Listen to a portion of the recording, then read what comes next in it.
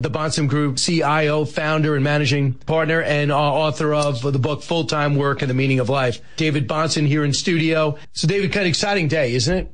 Lots going on. It's a, a big deal. And then you get all these announcements, appointments, and then at the same time having this meeting with President Biden. I think it's surreal. Right. Uh, to see it's going to happen, and they know he's going to go. I mean, he's basically got a shell of a staff left. Most of them left already and went to work for the failed campaign of yeah. Kamala Harris. So he's got KJP as a chief advisor, Jeff Zients as, as chief of staff, and there's a lot of things hanging in the balance. What you heard today, wh- where do you think the status of uh, of our economy is today. I know the market had a down day yesterday, but for the most part has surged since Trump won. Yeah, there's a really really good fundamental backdrop, and for, in terms of investors and people trying to think about the market, there's just two forces in a tug of war with each other. It's a big deal. It's going to be a big deal next year. One is the really good news: strong fundamentals. I think Trump is going to be successful with deregulation, with some degree of lower taxes, um, and and then I think that right now unemployment's very low and and earnings are at record highs. Corporate profits are very high. All that, and, and this is all at a time when the Fed's getting ready to be cutting interest rates. All that's very good. What's the downside? Very high valuations a lot of this stuff is already priced in.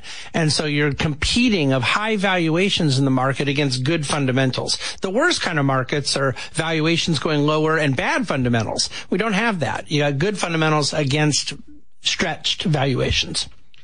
Um, so we're looking at a market, at least say, besides the deficit, which is a problem.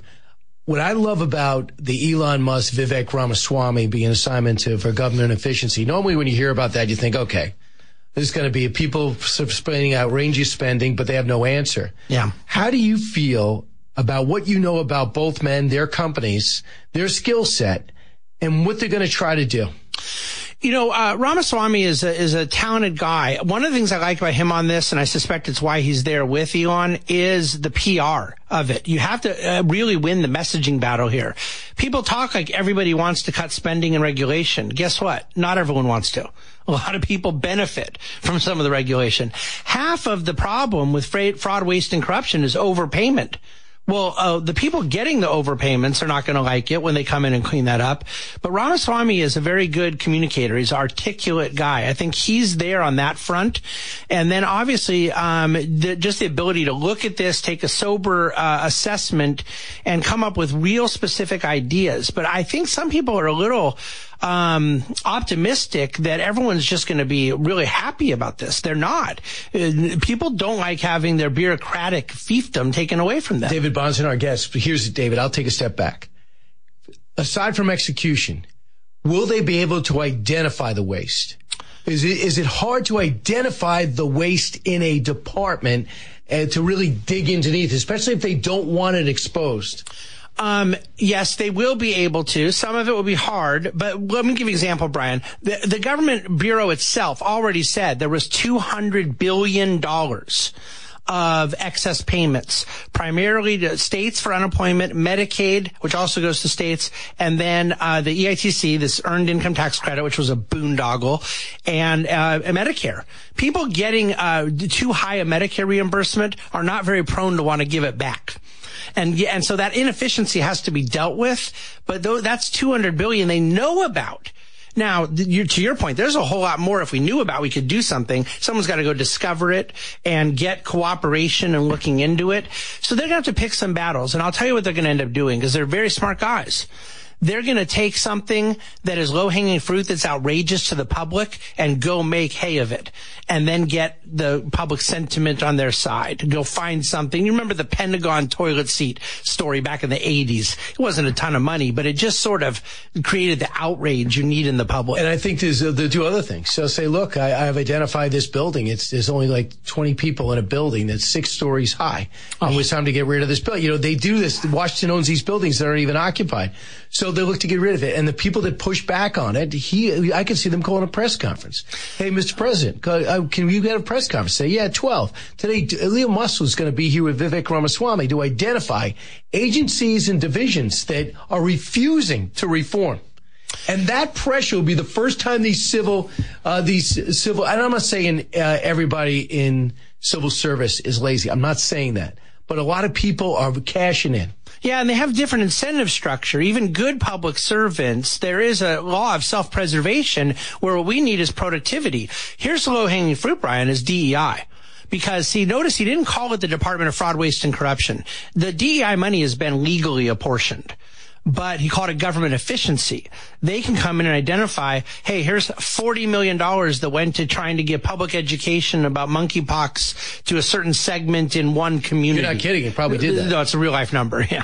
So there's things like that all over the place. I'm not even getting in Department of Education where DEI is run amok. The amount, I mean, again, state of California and UC Regents employs 800 diversity officers at hundreds of thousands of dollars per year per person.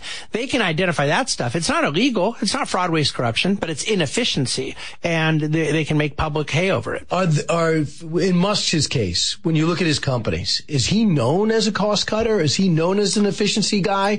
I think mm. of him as an inventor. Yeah, it's different for companies that aren't hyper levered, and that's a unique thing because we're so used to debt capital driving a lot of this, and he used equity. And so on one Could hand, you describe to me for, for civilians like yeah, sure. I'm sorry. So you borrow money, you got to pay it back, and you got to service the debt. So it's a cost to the company.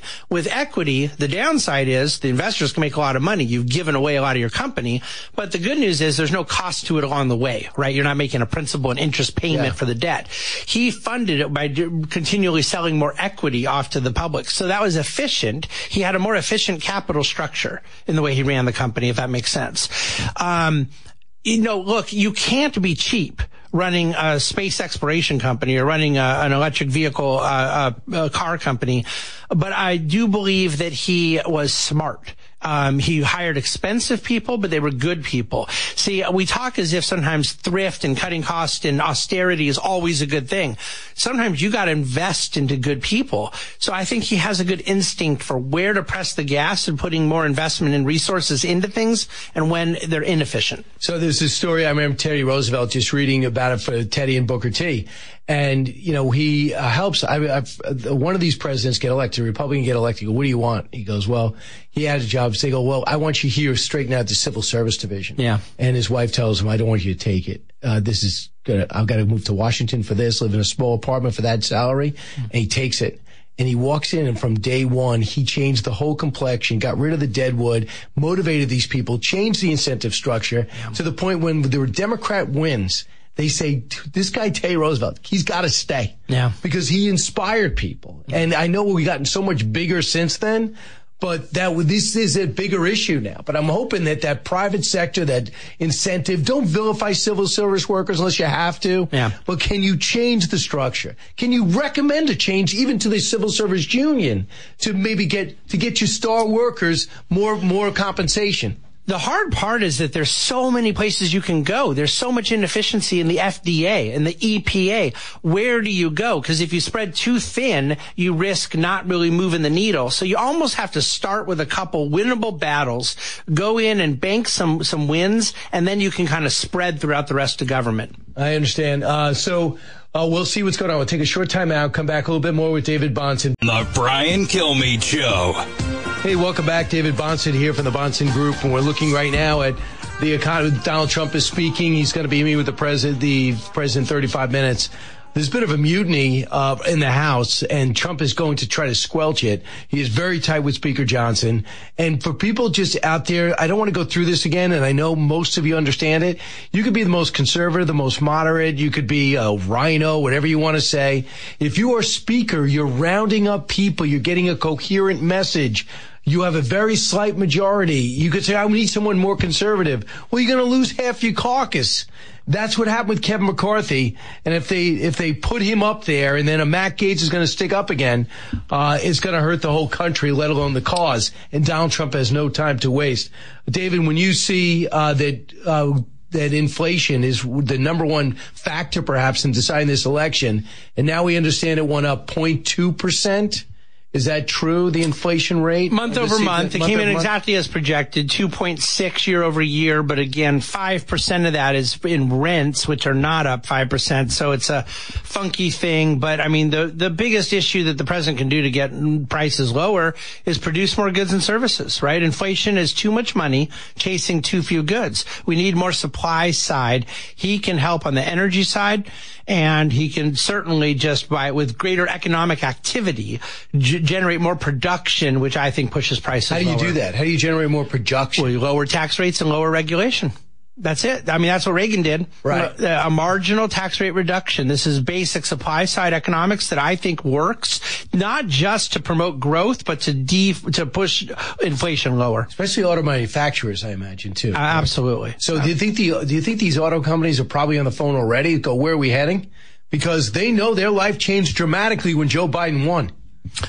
Well, I think that the auto companies right now face a really interesting opportunity because they were pivoting into a very expensive and unprofitable venture around EV mandates. Bailing on it at, at a and, record and rate. bailing on it because it wasn't working, but now they don't have to bail on it if they don't have to do it, and they can get back to what they normally do. It's funny. Uh, Boeing came out, the new the CEO saying we uh, are not looking to get rid of some of our DEI stuff because we want to focus on whether or not the things we do helps us build planes.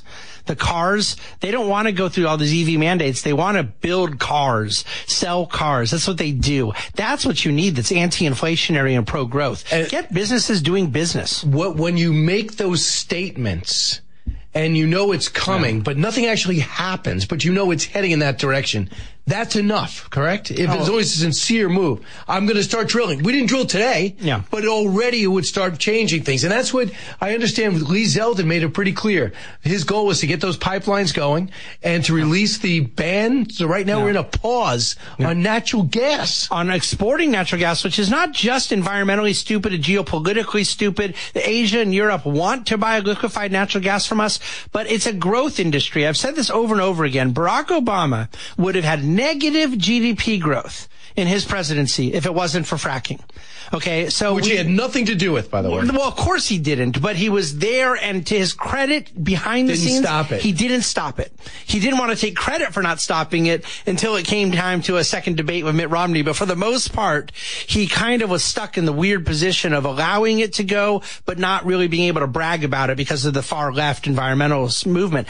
I think that um, in this case, the export LNG ban was a terrible thing for Harris's campaign because she wanted to get past her old stupid statement of saying I want to ban fracking, and yet this thing was lingering out there. Well, this wasn't four years ago. This was eight months ago. Your administration put a freeze on approving new terminals. We, it takes years to build them. We need these things. It employs tens of thousands of people, and not just basic jobs good paying jobs. Good jobs for people don't have to have college degrees, but can make six figures with special skills. It's an advanced engineering, manufacturing. There, it's just, it's a really important construction aspect of jobs. And Biden, for whatever reason, killed it, even though prior to that, they were doing a lot with export LNG after Russia invaded Ukraine. Which is crazy because he was asked by Speaker Johnson, why did you pause Uh, excavation? He says, I haven't. We're discussing. He goes, no, you've paused it. Yeah. And he had nothing to say. Yeah, he put Somebody in his Right. administration did it and didn't inform or he forgot. Yeah. And in government speak, when someone says we're appointing a commission, that's the way they kill things. When they say we're pausing or we're having a discussion, you know, like when I have something I have to discuss with my people about our company, we discuss it that day and make a decision that day or the next day and start our new plan of attack the day after that. We go very quickly. The government, when they talk about pausing to have a conversation, that's a year. Two years. They were trying to kill it. The same thing they do with nuclear. Yeah, we didn't ever end nuclear. We just haven't done it for 30 years. Um, it's government inefficiency. Um, I want you to hear what Kevin Walling said, a Democratic campaign consultant, and tell me how this ripples down to the economy. Cut 28. Voters send an overwhelming message oftentimes that you know they want to see Democrats and Republicans uh, working together. This is going to be a very slim majority uh, for the Republicans, and the House getting slimmer by the day every time uh, Donald Trump appoints a new House member uh, to his cabinet, and certainly a 53-47 majority uh, in the Senate. So, do you think Wall Street, uh, do you think the uh, economic experts want to see cooperation between the two? Well, I know that they do. And um, in this particular case, I just want to point out the Republicans are probably going to end up with three, four, or five seat majority. Uh, if it wasn't for some of the shenanigans that have happened of division within the party, we could have 30 seat majority. We could have 20, 30 seats very easily. So yeah, you get a lot more done when you have more leverage because uh, you have the margin matters. The committees matter, and they need to be able to get along and not play performative games with one another. So uh, I think President Trump is going to be uh, reinforcing that message loud and clear today. And, and, by the way, we're talking to David Bahnsen. So David, who's the right Treasury Secretary? Will be the right message that gives you an idea that this that the president's on the right track? Who do you want to see named? Of the names that are real seriously being considered, I really like Scott Bessent a lot. I think he's a very philosophical person. He has a deep understanding of what makes markets work and what uh, the dollar is about and what needs to happen in America's financial system. David Malpass's name has not been getting a lot of play. He was President Trump's choice for head of the World Bank, and he's someone I like a great deal. I think he's a real senior statesman. He has served in three presidents' administrations in the Treasury Department already. Uh, so either Scott Bessent or David Malpass. There were a couple other names I didn't like, but I think Scott's going to get the name. Jamie Dimon? I would love Jamie, and I think Jamie would take it, but I don't think President Trump's going to go there. Because he didn't really support him, right? Uh, that's not the reason. I think he right now wants people that are more ideological, not that kind of Wall Street background, but sometimes a good Wall Street background can help too, Brian. David Bahnsen, thanks so much.